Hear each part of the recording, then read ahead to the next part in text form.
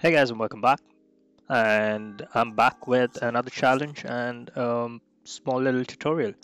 So let's say we have two dimensions here and the sum of sales. What we actually want to do is we want to combine type 2 and type 3 into rework and type 4 is actually called work. We have two different dimensions that we want to create out of one dimension that we have over here and then sum up those two and see what's the percentage of those two compared to let's say 04 and we want to ignore the other ones. So if you want to learn how to do it stick around there are two different ways you can do it but if you think it's too simple then have a crack at it yourself and good luck.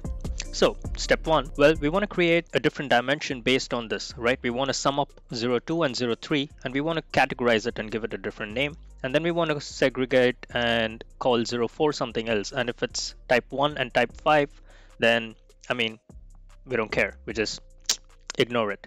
So how do we do it? Well, one way to do it is to create a new measure and you could do that by creating a master measure. Let's go to master items here and we're going to click on create new and over here in field I'm going to go into the expression editor and say if I'm going to use the match function match type what the types are. I'm going to say 02 in my case and 03. If it's 02 and 03 then in that case I want to rename it as let's say rework else if match type is 04 this is my other condition then I want to say just worked otherwise we just want to leave it as null so what are we saying we're going to pick out so we know that 02 and 03 belongs to something and 04 belongs to something else so we want to pick out those two from our column called field and then rename it into something else and we are creating a new column. Main point here is we want to see the percentage of sales for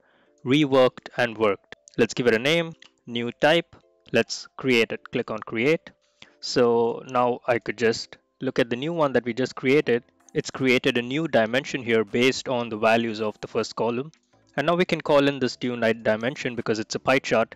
So the pie chart is going to be aggregated across your sales. So now the measure can just be sales. So I'm going to go in here and click off null. That's step one or method one. What's method two? The other way is to go into your load script and over here you have type and the same thing. So you could create a new dimension over here. So I'm going to say, I'm going to do the same if statement that we did. If match type is 02 or 03, then rename it into reworked, else rename it as worked uh, if it's 04, otherwise as null.